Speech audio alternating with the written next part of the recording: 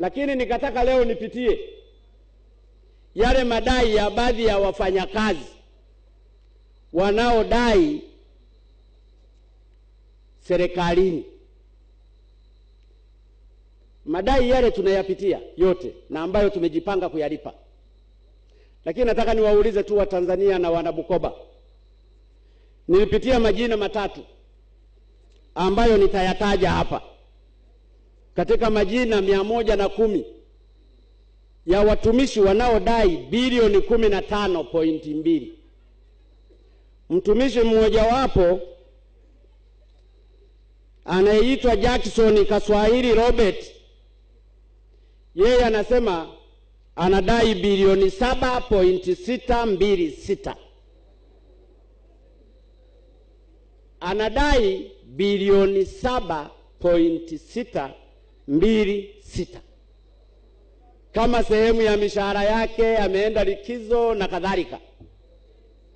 Mnaweza mkajiuliza tu, huyo mtumishi Jackson Kaswahili ambaye ni Mswahili kweli na anatoka wilaya ya Ukerewe anadai bilioni saba pointi sita mbili sita na madai haya aliyapeleka utumishi, ofisi ya rais utumishi, na utumishi wakayapeleka wizara ya fedha kwamba ni madai halali. Niliposhutuka nikawaambia wizara ya fedha wayakague, wamekuta mtumishi huyu Jackson Kaswahili Robert hadai chochote. Kuna mtumishi mwingine Ng'achano Ramadhani Msingwa, yeye anatoka Bagamoyo. Yeye anasema anadai bilioni moja pointi saba tano nne na utumishi wakapeleka wizara ya fedha kwamba huyu akalipwe. Tulipofanya verification na ukaguzi, tumekuta huyu ndugu Mwachano Ramadhani Msigwa Msi, Msingwa anadai milioni mbili tu. Mnaweza mkajua ni kwa namna gani katika nchi hii ilikuwa inadhulumiwa kwa kiasi kikubwa kwa baadhi ya watu katika nafasi zao. Sasa mtumishi anafanya kazi bilioni saba pointi sita anadai na amesaini, lakini kuna mwingine wa Mafia yeye anasema ame, amepewa katika muda wake alikuwa na akti kwenye hiyo kazi, anaitwa amekaimu kwa nafasi hiyo. Kwa hiyo lazima kuna pesa zinazolipwa kwa kukaimu. Anaitwa Gideon Zakayo,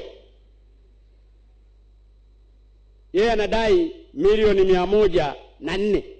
Kwanza hawa watatu niliowataja pamoja na wale wa ofisi ya rais utumishi waliopitisha maombi haya, vyombo vya dola vianze kuwashughulikia na kuwachunguza kikamilifu. Kwa hiyo ndugu zangu wana Bukoba, ukiamua kulibeba dude kama waswahili wa sasa wanavyoamua, lazima watu wengine utawagusa, lakini ni vizuri niwaguse watu wengine wachache, ili watu wengi Watanzania maskini waweze kufaidika na jasho la Watanzania, na watakaoumia ni pamoja na Jackson Kaswahili ili uswahili umtoke, pamoja na wale waliopitisha malipo haya ya ajabu.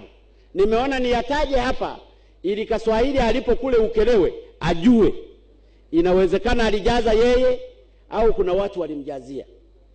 Ninazungumza haya ndugu zangu kwa uchungu, kwa sababu ninafahamu maisha ya Watanzania wanayoishi. Ninafahamu maisha ya watu wa kawaida wanavyoishi. Mateso ni yao.